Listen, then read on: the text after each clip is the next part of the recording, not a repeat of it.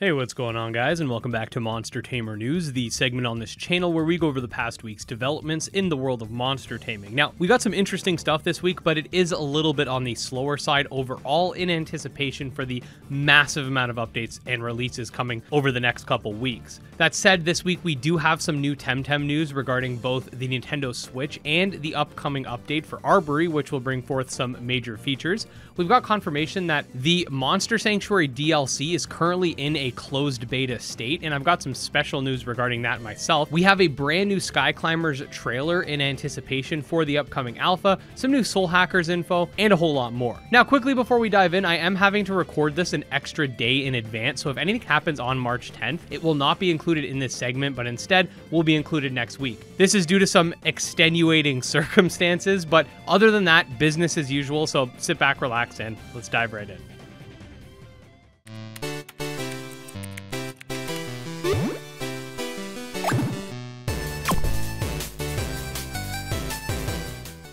All right, so first things first, we will get Temtem out of the way because we did expand upon this news in a separate video that came out yesterday. The developers have sent in their first Nintendo Switch submission. This does not mean that the game is going to suddenly pop up on Switch because there will be some back and forth and stuff to that nature, but we do know that the wheels have officially turned, which is definitely noteworthy. They've also mentioned that Xbox will be a lot easier to port, so there shouldn't be any hiccups on that front. They then mentioned the upcoming content update dubbed CU1, which will be the first patch in the Arbury cycle. This update will bring forth the Trading House, which is essentially the Temtem equivalent of the Global Trading Station, mounts that allow you to avoid wild encounters and explore the map on top of certain Temtem, Club Dojo Wars, which will essentially be these group fights for certain turf and more. I know there's a ton of people who are anticipating these updates and the Switch release, so it's good to see that the ball is rolling. All right, so next we got a really cool Skyclimbers Overworld trailer that comes with its own narration, so I'm just gonna let it play for you guys. It's it's really cool. Just just listen.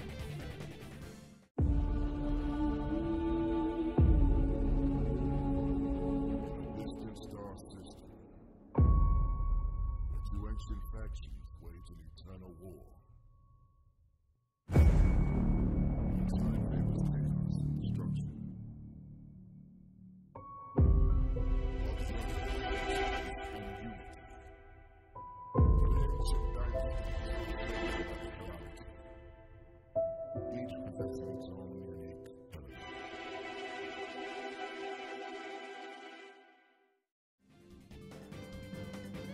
Now, just a reminder, Skyclimbers will be launching its alpha on March 22nd.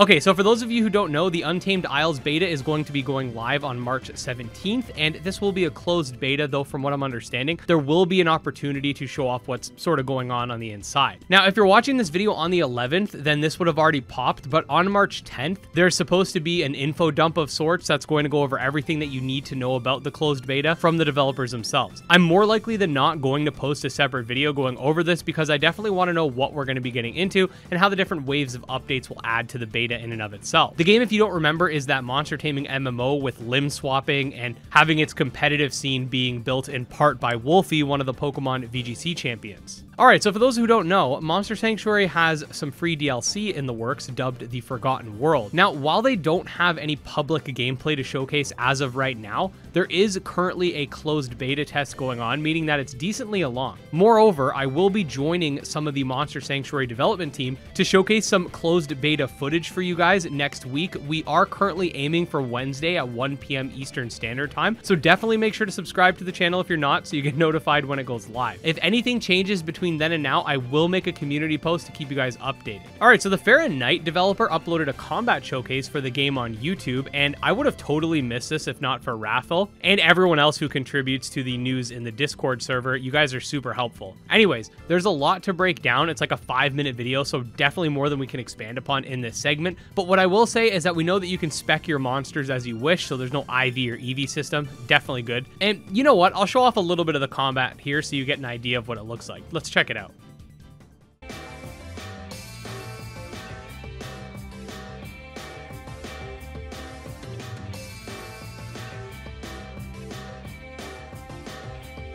Okay, so we got a ton of Soul Hackers information for the upcoming Soul Hackers 2 title, and this includes a general synopsis of the plot, which will take place sometime in the near future and apparently 25 years after the first installment, if I'm reading that correctly. We also get more insight into each of the characters. I don't want to expand on this here Character synopsises are fun, but we'd be here forever. So I'll probably make a separate video on that too. Tons of information to break down. But basically, it looks like you're going to be playing as some electronic life form and teaming up with other people and demons in order to essentially stop the apocalypse. There's a ton of new screenshots that were accompanied with this release, which you have been seeing on screen. So yeah, let me know in the comments if you want me to make a video expanding on this. I figure we'll do it sort of casual, sort of read through the article, give you guys my thoughts, reactions, and stuff like that. We'll just have a good time with it. Okay, so next we're going to be moving into the rapid fire segment of today's video for the updates that do not require lengthy explanations. We got a lot of new monsters this week, including but not exclusive to ones for Gremlin's Tale, Abomination, Disc Creatures, and Cassette Beasts. We also got some ongoing Kickstarters and more. Speaking of which, we got our two main monster taming Kickstarters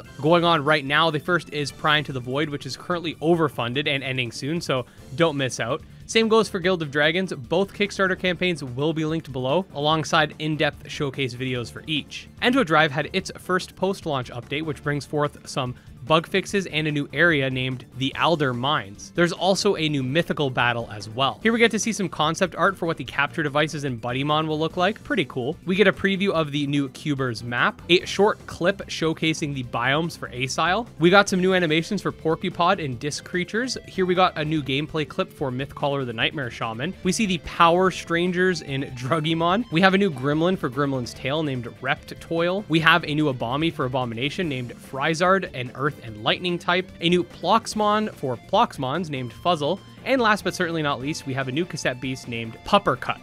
And there you guys go. Another week has winded itself down with a lot of interesting information. Personally, really looking forward to this Monster Sanctuary DLC, and of course all of the upcoming releases this month, including the Untamed Isles Beta, Skyclimbers Alpha, and of course, we didn't mention it in today's video because there was no news this week, but that Coromon release. We've also got Rune Factory 5 coming this month, which has me intrigued, but I've never played a game in the franchise before, so we'll see. Anyways, all of that said, if you are a fan of monster taming games and want to stay up to date on everything happening within the genre, definitely subscribe to the channel because I put out new monster taming videos every single day. I've also got a Discord and Twitter if you do want even more monster taming content, as well as a Patreon with some pretty cool perks if I do say so myself. Speaking of which, special thanks to our patrons, especially our top tier backers, including Dark Persona, Jim Hamilton, and Stealcase. And with that, we'll see you guys next time.